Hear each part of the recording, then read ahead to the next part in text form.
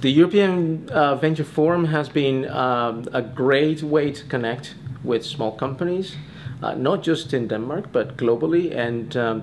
uh, for the past five years, we've been um, a sponsor of the event. We believe that um, this type of uh, small companies and uh, entrepreneurs in the food business are important for growing new technologies and growing new products that are exciting for, for consumers and we want to know about them. Uh, there are two things. Uh, one thing is uh, in all this, um, this creation of business, the element of contact is important, the human contact. And I think this gives us uh, the, the, the right space and the, and the right time to, to get to know those peoples with new ideas that are trying new things. And um, what I hear as feedback a lot of time is that they want to know from the big companies about where they should be guiding their efforts and, and where do we they, they should be investing you know their time and, and money to make the biggest impact. And I think that those connections are important and we can find them here.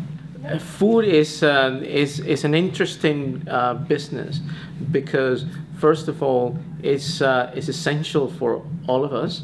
Uh, but if we start recognizing in the future that food has different dimensions, and one of those dimensions is to create health and maintain health for people, then I think we will come up with more solutions and more innovative ideas if we see that as, a, as the main driver for food, not just the pleasure, but also to maintain our health and be more active and you know be uh, happier. And I think we had a panelist last uh, last night uh, saying that there's no one single big shot.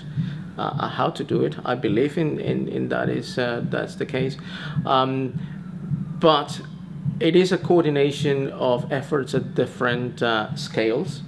Um, I think that small companies uh, should be, as we're doing here, getting closer to bigger companies, uh, but at the same time, there should be uh, um, a way of creating more local knowledge of food and how we produce food and the, you know be and make people more aware of these new companies and and uh, how they can help them you know uh, scale up by buying their products and by be more aware that they they exist.